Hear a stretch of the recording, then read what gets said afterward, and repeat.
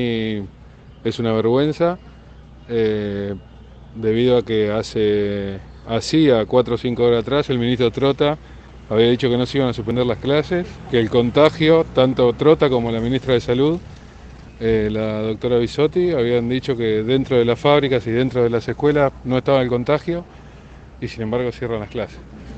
Me parece que es una medida muy apurada este, y siempre cortan por lo más fácil hubiesen cortado el fútbol, como se vio en la tele que ganó Defensa y Justicia, están todos festejando. Hay otras cosas para recortar, yo creo que las clases le hacen mal a los nenes, en todos los niveles, ¿no? Claro. Y que bueno, también se decía que no respetaban las burbujas, los protocolos, eso cómo lo viste vos en, este caso en el jardín. Mira, mi nena va salita de 5 años y eh, como ven que están todos parados ahí en la linita, los respetaban a rajatabla y mismo dentro del jardín se respetaba por lo menos en esta institución, no sean las demás. Yo hablo por lo que sé. Y bueno, con este anuncio, con esta modificación, esto también eh, modifica justamente la vida de los padres, ¿no? Porque tienen que nuevamente volver a adaptarse a esto. Sí, sí, más que nada en el tema de los trabajos también, porque son hay, hay modificaciones en los horarios que perjudica y perjudica a las empresas también. No, a mí la verdad que no me gusta, pero bueno, la acatamos. Acá en el jardín por suerte dan clases virtuales.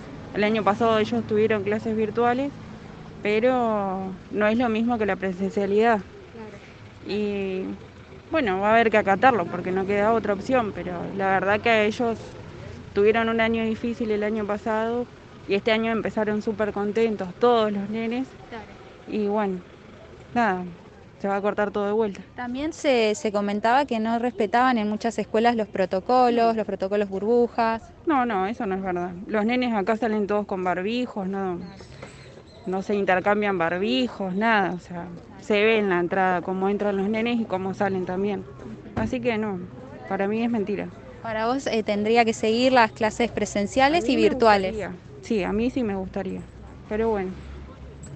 Hay que, hay que esperar ahora. Y esto implica también un cambio en tu, en tu día a día, ¿no? Porque sí, yo por suerte no trabajo a la mañana, pero bueno, hay papás que sí trabajan y se tienen que quedar en la casa con los nenes y tenés que buscar a una persona que los cuide o alguien. O sea, es lo mismo.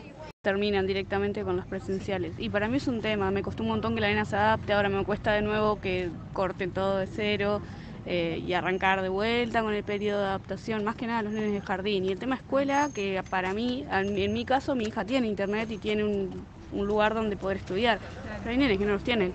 Eh, y no piensan, creo, en eso, no piensan en el tema de que hay chicos que no siquiera tienen un techo del vamos y, bueno, que es todo un tema. Para el tema de cortar de vuelta todo, eh, para mí va a ser un problema. Claro. En tu día a día ya eh, es nuevamente cambiar todo, ¿no? La rutina. Exactamente, yo estoy cursando también en la facultad, entonces ahora se me complica todo con la nena en casa, eh, hacerla cursar virtualmente y todo es un tema, la verdad es complicado.